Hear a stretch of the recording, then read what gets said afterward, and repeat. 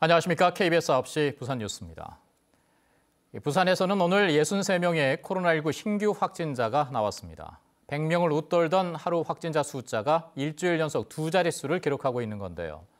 방역당국과 전문가들은 거리두기 4단계 효과로 확산세가 주춤한 것으로 분석합니다. 김영록 기자가 보도합니다. 이달 들어 가파른 상승세를 보이던 부산 지역 코로나19 신규 확진자 숫자.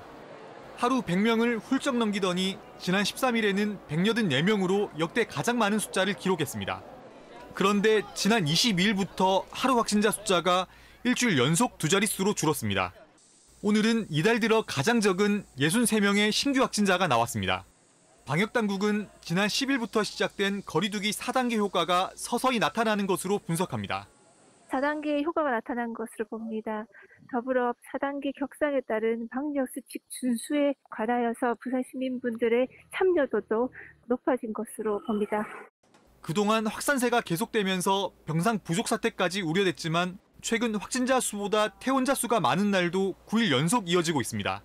지역 확산세에 경고를 나타냈던 전문가들도 지금은 확산세가 꺾였고 확진자도 계속 감소할 것으로 예상합니다. 확산세는 꺾인 것 같거든요. 백신 접종률이 올라가면서 서서히 감소하지 않을까 그렇게 예상이 됩니다. 3단계 기준에 합당한 상황으로 가고는 있긴 해서 그런 논의가 좀 될 가능성이 부산 지역 1차 백신 접종률은 62.7%로 부산시는 추석쯤에는 70%까지 오를 것으로 기대합니다. 오늘은 신규 집단 감염은 발생하지 않은 가운데 기존 집단 감염 장소 중 금정구 목욕탕에서 1명, 부산 진구 주점에서 2명이 추가돼 누적 확진자는 각각 16명, 20명으로 늘었습니다. KBS 뉴스 김영록입니다.